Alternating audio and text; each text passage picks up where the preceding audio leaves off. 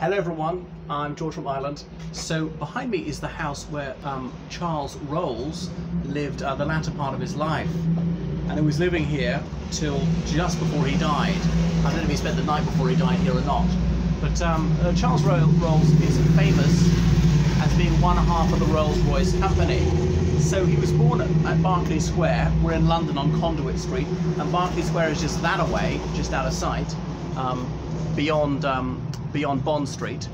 Um, anyway, um, he was born there to Welsh aristocratic parents. His um, father was Lord Llangatri, if I pronounce it correctly.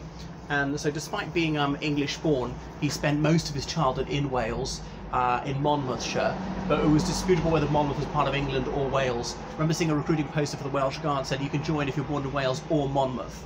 So it's changed hands back and forth over the, over time. At the moment, it's considered part of uh, part of Wales.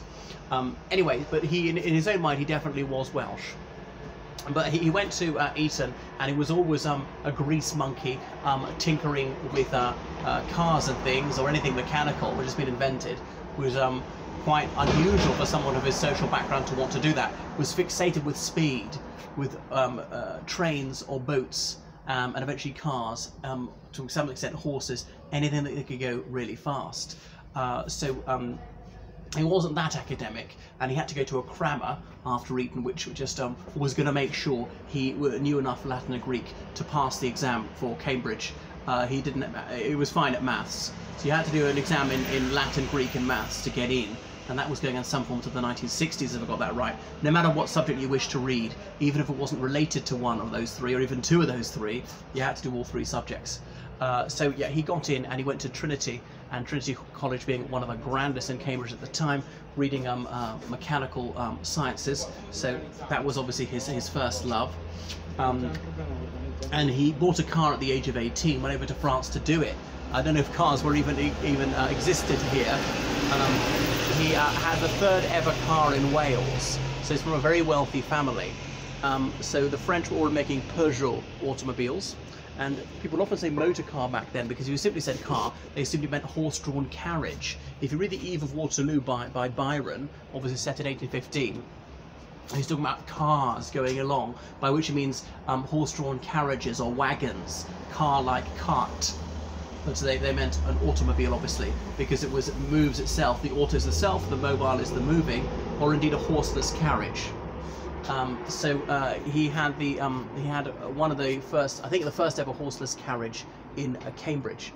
Uh, so he graduated and he immediately set about setting himself up as a car dealer. So his father um, gave him a lot of seed corn capital to purchase Minerva cars manufactured in Belgium or Peugeots from France and sell them here. So he had a chance meeting with um, Mr. Royce at, uh, at the Midland Hotel in Manchester and uh, there was a dispute about how many cylinders they would have, but eventually went with Royce's Royce's uh, idea. So Royce was more of the mechanical engineer. Um, Ro uh, Rolls was more of a, um, a, dilettante when it came to uh, mechanics, and he acted as a salesman because he had the upper class cachet, he had the contacts well, the cachet and the cash. So he knew the right sort of people, so his friends and relatives would be purchasing these cars, and they set themselves up. I'm not sure their showroom was right here um, in Mayfair. And then he also got into planes. He'd been, he helped set up the Automobile Club of Great Britain. He'd originally been part of the French one, and thought that the um, I can't remember what the, the, this bizarre name of the legislation was, like the Self-Moving Vehicles Act or something. Felt that it was too restrictive you try to have slightly quieter cars. They didn't realise it annoys people. It annoyed people, frightened the horses, literally. Um, but yeah, and he, he went to the United States to sell his vehicles there. So they started producing their own. But yeah, he got into flying and he was just beaten by a Frenchman, I can't remember his name, was it Blériot or something like that, in 1910, who managed the first um, flight across the English Channel, I think from France, so from, from the United Kingdom to France. Well, therefore, Rolls had to do the other, other way, I think, going from France to England. And then later on, he did the first one to double back, to fly from one country, I can't remember where he started, over the other, turn around and come back without landing. It took him 95 minutes. That's only, that's only like um, 20 miles. Or is it less? Is it 12 miles and 20 kilometers? Something, something like that. It's, it's very short. It's very short distance, and that was obviously amazing at the time. I know we laugh at that now, but remember just how uh, new aviation was. And then he was flying um, some some experimental flight in Hampshire in 1910, where um, something came off his plane. He crashed and died. He was only 32. So that is Rolls Royce, uh, whose name is immortalised in Rolls Royce Company, uh, one of the most expensive makes of British cars. That is a little bit about Charles Rolls.